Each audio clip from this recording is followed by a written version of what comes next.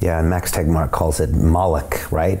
This I love that analogy. Yeah, yeah, it's this concept. Uh, yeah, that's I guess been around for quite some time. That that prisoner's dilemma that we race to the bottom. And again, with um, with Google, you you saw it a bit, whereas the the Google Bard initial demonstration, you know, was a PR kind of a nightmare. The the stock price faltered, but when they came back, it was a better version and it was now connected to the live internet. Mm-hmm. And it was almost like they took one more step closer to the bottom you know, exactly. to stay competitive. Exactly. Maybe that's a simplistic way of looking at that, but that was the, the way I try to explain it to my students is that now they, they said, okay, we're going to see you and raise you because we have a trillion dollars of market cap that we're, or two trillion that we have to protect. And like you said, if Sundar doesn't do it, they'll get rid of him and someone, someone else will do that. Exactly the, exactly the challenge we're at. And I think, I think that the, the, the truth of the matter is that uh, as you rightly said, I'll see you and raise you is what's what's happening today. You know, it, it is the gold rush all over again. It is the internet bubble all over again. And yes, there will be fallout in the process, but in my personal view, we're just going to see more and more and more. Uh, there's no stopping it. Some people do equate this to the dot com bubble. You saw that. I was the um, the CFO of a dot com startup in New York City at the ripe age of 27, and uh, we raised 15 million dollars. It was called LuxuryFinder.com. You could buy like a jet on our website. It was a bunch of wealthy people in New York and the Hamptons that put money in, like Leon Black and all these people.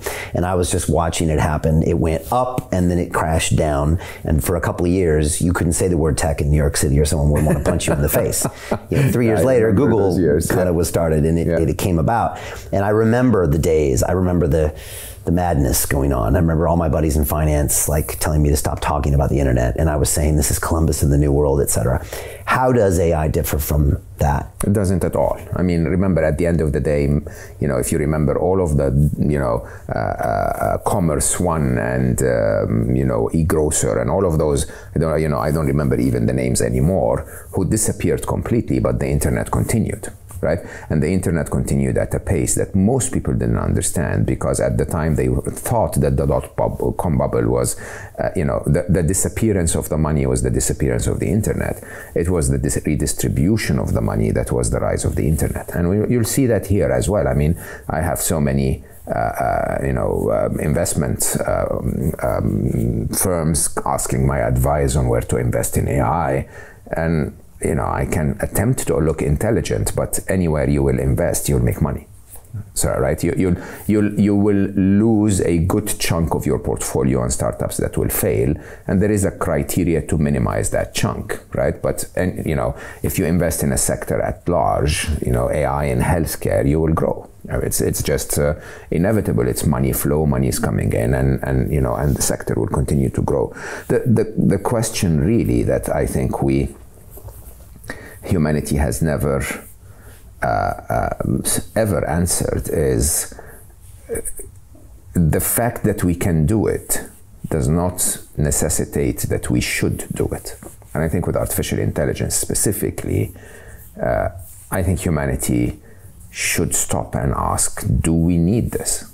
Because we literally are handing over our only distinct advantage as a flimsy biological being as a species, uh, we're handing that over within years.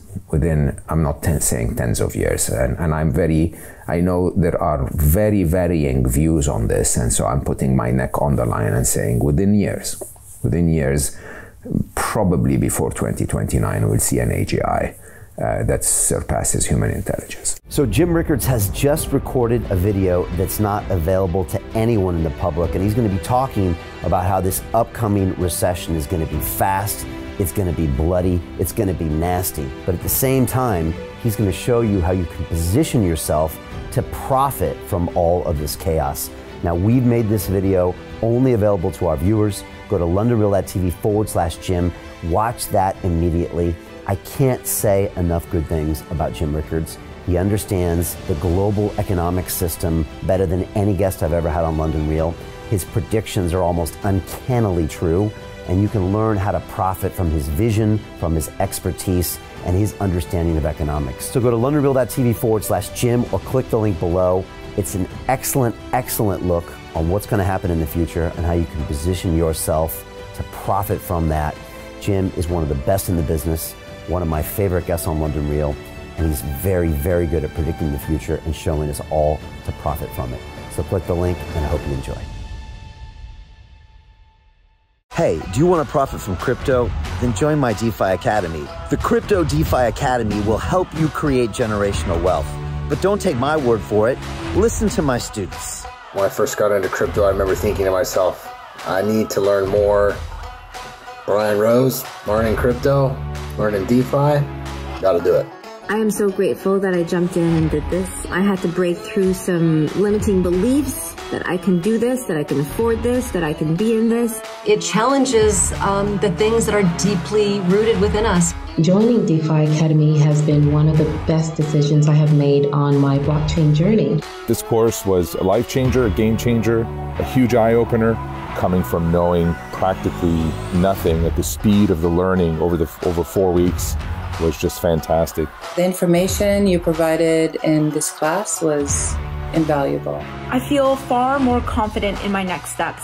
You took complex concepts and made them easier to understand. What's different than so many other ones is it just doesn't tell you what to do. It uh, actually makes you do it. This is for people who are serious about becoming traders. This is the way it should be done. I realized from this learning experience again that it is not about what you learn, but about who you learn it from. The energy was insane. I've, I've never experienced such incredible energy on a live call. Brian Rose, you, you are a legend, my friend. It's the only thing in the market where you can get all information and learn everything what you need to know. Everything is so clear and so well done, and I'm um, just forever grateful for this program. It made me feel so much more confident about crypto than I did before.